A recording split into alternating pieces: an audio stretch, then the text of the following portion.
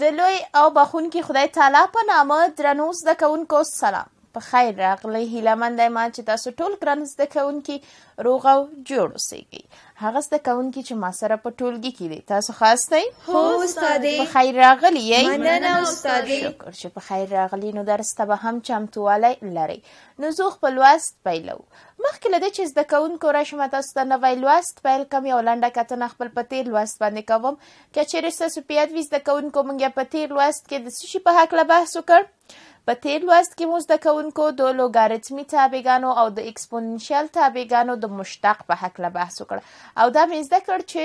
څنګه کولی شو د لوګاریتمي او اکسپوننشیل تابعګانو لپاره مشتق ترلاسه کړو او همدارنګه څنګه مختلف مثالونه په دې برخه کې حلولی شو چې ما تاسو ته مختلف مثالونه کار کړل تر څو تاسو همدغه موضوع په سمه توګه زده کړئ نو درس مو زده کړی هو استاد ډیر ښه پوښتنه شته نه استاد آفرین چې لوست مو زده کړی پوښتنه هم نه لرئ نو لاړ به شو زده کوونکو د نوي لوست په لور زمونږ نوی لوست د څه شي په هکله دی زمونږ نوی لوست د معکوسو تابعګانو د مشتق په هکله دی د معکوسو تابعګانو مشتق چې د یو سلو یو اتیاومې نه تر یو سلو څلور اتیاومې پاڼې پورې اړوند دی زده کوونکو دا چې څنګه موږ کولای شو د یوې تابع لپاره مشتق ترلاسه کړو په دې باندې مو تر دې دمه ډیر بحث وکړ او مختلفو تابعګانو لپاره مو مشتق ترلاسه کړ زموږ د ملاتړ لپاره د بیګم اکاډمیک چینل لزان سره سبسکرایب کړئ بیا د شرنګنۍ تڼۍ کې کاږئ تر څو زموږ ټولو درسي ویډیوګانو ته لاسرسی ولرئ او له هغو څخه برخمن شئ اوس د معکوسو تابعګانو مشتق څنګه ترلاسه کولی شو په دې باندې به د نن ورځې په لوست کې بحث وکړو اول دا چې تاسو معکوسې تابعګانې د تابع په بحث کې لسم ټولګي کې مو دا زده کړي چې معکوسې تابعګانې کومې تابعګانو ته ویل کېږي مثلا که چیرې زه وایم چې وای مساوي کېږي اف ایکس وای مساوي کیږي اف ایکس تابع په دې شکل سره زه وایم دا یو خپله تابع ده یعنی دې ته زه څه شویم دې ته اصلي تابع وایم وس کچیر زده کوونکو زه دلته داسې ترلاسه کوم چې وایم ایکس مساوي کیږي د اف وای سره نو دا په څه شي زده کوونکو دا بیا معکوسه تابع ده دا څه شي ده دا معکوسه تابع ده یعنی کله چې تاسو وای وای مساوي کیږي اف ایکس سره دا خپل اصلي تابع ده او کله چې وای ایکس مساوي کیږي اف وای سره دا معکوسه تابع ده اوس په دغه لومړنۍ برخه کې یعنی د اصلي تابع په برخه کې مونږه مختلف فرمولونه مختلف ډولونه مو د مشتق لپاره ولوس اوس راځو څه شی باندې بحث کو معکوسه تابع باندې بحث کو دا چې زده کوونکو د دې دغه شکلونه داسې تغییر خوري او د بل معکوس کیږي نو همدارنګه د دوی مشتق هم تغییر خوري کله چې راځي تاسو وایي چې وای زبر مساوي کیږي د سشي سره اف زبر ایکس سره نو دلته بیا په دې برخه کې تاسو داسې ویلی شئ چې ایکس زبر مساوي کیږي یو پر اف وای زبر د اف ایکس زبر سره یعنی د اصلي تابع مشتق چې کله تاسو معکوس کې داسې شي کېږي زده کوونکو د دغه معکوس تابع مشتق کېږي اوس زده کوونکو مثلا که چیرې تاسو پام وکړئ دوه تابع مثلا یو لوګاریتمي تابع او یو هم د دې معکوس څه شي کېږي اکسپوننشیل تابع کېږي مثلا زه وایم چې وای مساوي کېږي د log x په قاعده د a وای مساوي کیږي log x په قاعده د a زده کوونکو د دې لپاره زه کچېره معکوسه تابع ولیکم معکوسه تابع به زه څنګه لیکم y انورس مساوي کیږي د څه شي سره زده کوونکو a په قاعده د x سره اوس کچېره زه دلته د دې لپاره مشتق ترلاسه کوم وای زبر لوګ د لوګ د ایکس په قاعده د ای حاصل به څو شي زده کوونکو لوګ د ایکس په قاعده د ای حاصل کیږي د وای زبر مساوي کیږي یو پر ایکس لوګ د ای په قاعده د ای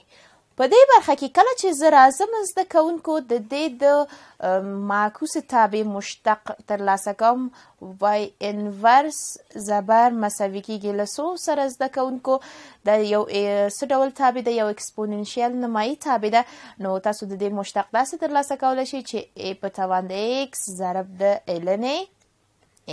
نو دی هم مشتق نو په دغه شکل سره زده کوونکو موږ کولای شو چې د همدغه معکوسو تابعګانو مشتق ترلاسه کو په دې برخه کې زده کوونکو په کتاب کې مونږ ته ځینې معکوس تابعګانو لپاره مشتق راکول شوی دی مثلا مثلثاتي معکوس تابعګانو مشتق مونږ څنګه ترلاسه کولی شو زه درسره دلته لیکم د مثلثاتي معکوسو تابعګانو مشتق زده کوونکو زه څنګه ترلاسه کولی شم کله چې زه وایم چې ساين ان و البته زده کوونکو د دې معکوس په څه شکل سره لیکل کېږي مثلا زه وایم چې وای مساوي کېږي ارک ساين ایکس نو وای زبر به مساوي د سو سره شي وای زبر به مساوي شي زده کوونکو د یو پر جذر ده یو پر جذر د یو منفي x مربع کله چې زه وایم y مساوي کیږي arc cosine x نو کله چې زه وایم arc cosine x y زبر مساوي کیږي له څو سره منفي یو پر جذر د یو منفی ایکس مربع نو دا د معکوس ساین تابع او دا هم د کوساین معکوس تابع او مشتق کله چې زوی مزده کوونکو وای مساوي کیږي ارک تانجنت د ایکس ارک تانجنت د ایکس نو وای زبر یې څنګه ترلاسه کیږي وای زبر یې داسې ترلاسه کیږي چې یوې پر یو مثبت x مربع او کله چې زه وایم زده کوونکو وای مساوي کیږي ارک کوتانجند x نو وای زبر یې څنګه لیکلی شم وای زبر یې داسې لیکلی شم چې منفي یو پر یو مثبت څه شی ایکس مربع نو دا هم زده کوونکو د دغه مثلثاتي معکوسو تابعګانو مشتق چې موږ کولای شو په دې شکل سره ترلاسه کو یعنی ارک ساین ایکس حاصل کیږي یا مشتق کیږي یو پر جذر دی یو منفي ایکس مربع او وای مساوي کیږي ارک کوساین ایکس وای زبر مساوي کیږي منفي یو پر جذر یو منفي ایکس مربع او وای مساوي کېږي ارک تانجنت ایکس وای زبر به یو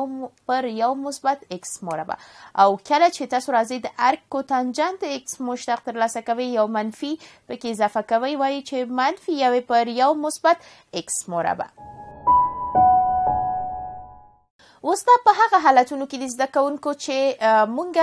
په دې برخه کې څه شی لرو تنها ایکس لرو که چیرې تاسو دلته یوه تابع ولرئ نو تابع څنګه مثلا تاسو وای وای مساوي کیږي ارک ساین د یو یعنی زاویه پر ځای یو تابع ده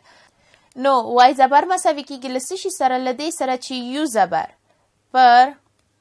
یو مثبت یو مربع او کله چې تاسو داسې ولرئ چې وای مساوي کیږي ارک کوساین د یو نو وای زبر به مساوي شي لسی شي سره منفي یو زبر پر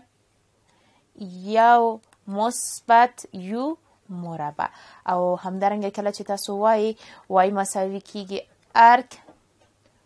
تانجند یو نو وای زبر به مساوي شي له څو سره وای زبر مساوي کیږي د یو زبر پر یو مثبت یو مربع په بخښنې سره زده کوونکو دلته د دوی ترمنځ څه ده منفي علامه ده یو منفي یو مربع البته جذر لاندې او دلته هم یو منفي یو مربع البته د شي جذر لاندې او په دې برخه کې کله چې تاسو وای وای مساوي کیږي ارک کوتانجان د یو نو وای زبر به مساوي شي لسو سره منفي یو زبر پر یو مثبت یو مربع نو دا د هغه معکوس مثلثاتي تابعګانو مشتق دی کله چې د زاویې پر ځای څه شی راغلی اوسېږي زده کوونکو یوه تابع راغلی وي بیا موږ کولی شو چې په دې ډول سره د دې حاصل ترلاسه کړو په ټوله کې که چیرې زده کوونکو تاسو وشمېرئ نو موږ څو فرمولونه زده کړلاست اته فرمولونه چې دلته څلور فرمولونه په دې برخه کې درې فرمولونه د هم سلور فر... سلورم فرمول په دې برخه کې او همدا رنګه سلور فرمول هم په دې برخه کې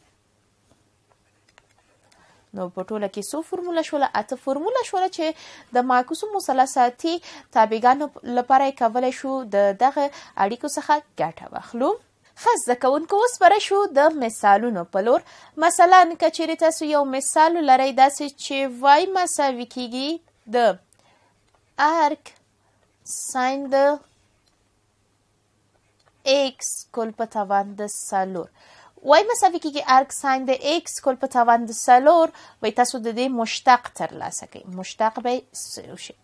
زده کوونکو اول که چیرې تاسو راشئ د تابع نوعیت وټاکئ نو تابع کوم شکل لري یو په توان د ان شکل لري په دې حالت کې زه څنګه کولی شم د دې مشتق ترلاسه کړم زه وایم ضریب د ضرب د توان له توان څخه یو کم ضرب د خپل تابع مشتق نو زه څنګه لیکم اول د تابع ټاکم ارک ساين د ایکس د څه ده تابع ده نو یو مساوي کیږي ارک ساين د ایکس کله چې زه راځم د دې مشتق تر لاسه کوم مشتق مورته ولوسل یو پر جذر ده یو منفی اکس مربع نو اوس را زما زده دی مشتق تا کما ده دی تابع وای زبر مساوی کیږي د سو سره ضریب ضرب د توان سلور ضرب د یو کیږي سلور له توان څخه یو کم ارک ساین د ایکس کل په توان د سلور منفی یو کیږي درې ضرب د یو زبر یو زبر هم کیږي زده کوونکو یوې پر جذر لاندې یو منفي ایکس مربع اوس که چیرې زه لږ زره دا سره ضرب کوم ساده یې کوم نو وای زبر به مساوي شي له څو سره له څلور ضرب د ارک ساین د ایکس کل په توان د درې پر جذر د یو منفی x مربع نو دا هم څه شي کېږي د دې مشتق کېږي اوس که چیرې زه راشم یو بل مثال کار کوم مثلا زه وایم چې وای مساوي کېږي د ارک کوتانجنت د وای مساوي کېږي ارک کوتانجنت د ای په توان د ایکس وای به سفیکی که ارک کو تنجند ای په توان د ایکس زده کوونکو تاسو یې مشتق ترلاسه کړئ مشتق یې څنګه ترلاسه کولی شم اول خو تاسو راشي د تابع نویت وټاکئ تابع نویت چې تاسو ټاکئ نو وایي چې تابع کوم ډول شکل لري تابع ارک کوتانجند یو شکل لري نو کله چې راځي تاسو یې مشتق ټاکئ مشتق یې داسې وایي چې منفي یو زبر پر یو مثبت یو مربع وس یو تابع تاسو وټاکئ یو تابع زده کوونکو دغه تابع ده نو زه څه ډول وایم وایم چې یو تابع ای په توان د ایکس یو زبر هم شي کېږي زده کوونکو بیرته ای په توان د ایکس کېږي وس رشي مشتق وټاکئ وای زبر مساوي کېږي له سو سره منفي یو زبر منفي ای په توان د ایکس پر یو مثبت یو مربع ای په توان د ایکس کل مربع اوس دا مخته وړم ساده کوم وایم چې په صورت کې منفي ای په توان د ایکس په خپل په مخرج کې یو مثبت توان له توان څخه تشکیل شوی دی سره ضریب بیږي ای په توان د 2 ایکس په دغه شکل سره زده کوونکو زه کولی شم دا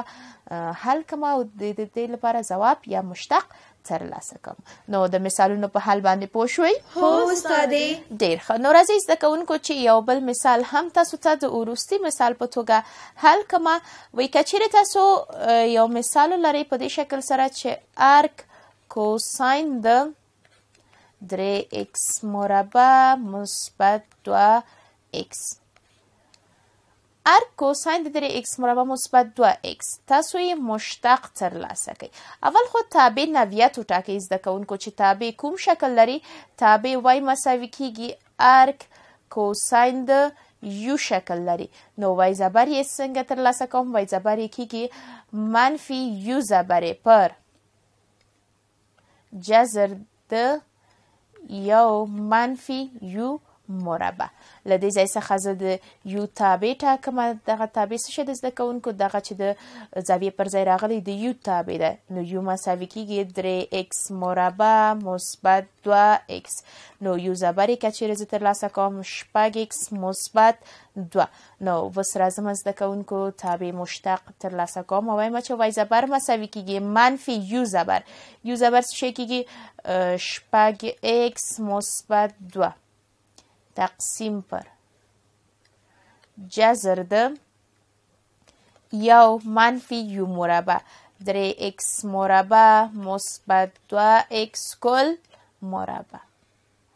په دې شکل سره اوس زده کوونکو زه کولی شم دا لږ مخته یوسم څنګه یې مخته یوسم تاسو دلته پام وکړئ وای زبر په خپله اول خو په صورت کې دا منفي په دې قوس کې ضرب کی کېږي منفي شپږ ایکس منفي دوه مخرج کې هم زده کوونکو تاسو داسې کوي چې دغه یو په خپله منفي دغه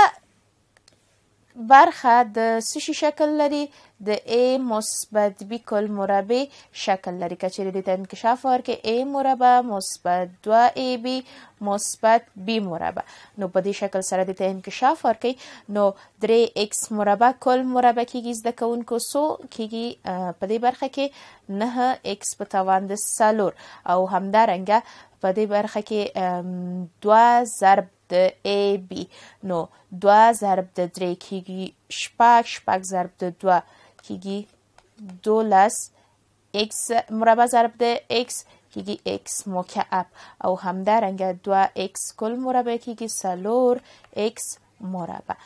نو له دې ځای څخه بیا تاسو کولای شئ نور زده کوونکو مخ ته یوسئ داسې چې دا منفي دلته نو له دې ځای څخه وروسته زده کوونکو تاسو کولای شئ دا مخ ته یوسئ داسې منفي پکې ضرب کړئ او همدارنګه دا په دې شکل سره نور ساده کړئ نو دا هم زده کوونکو زموږ د نن ورځې لوستو چې راغلو د معکوسو مثلثاتي توابعو په هکله مو بحث وکړ هیله من دی ما چې تاسو ټول ګران زده کوونکي په لوست باندې پوه شوي اوسېږئ او کومه برخه تاسو ته ستونزمنه پاتې نه وي نو درس مو زده کړ؟ هو استادې. ډېر ښه پوښتنه شته؟ نه استادې. آفرین چې لوست مو زده کړی پوښتنه هم نه لرئ نو اوس به راشم ستاسو کورنۍ دندې په لور زده کوونکو ستاسو کورنۍ دنده دا ده چې یو سلو څلور اتیاومې پاڼې په پای کې چې کومې پوښتنې دي دې پوښتنو ته ځواب وایي که چېرې کومه برخه ستونزمنه وه یا هم پې پوه نه شولئ بیا کولی شئ له ما نه پوښتنه وکړئ نو دا اوس زموږ د نن ورځ د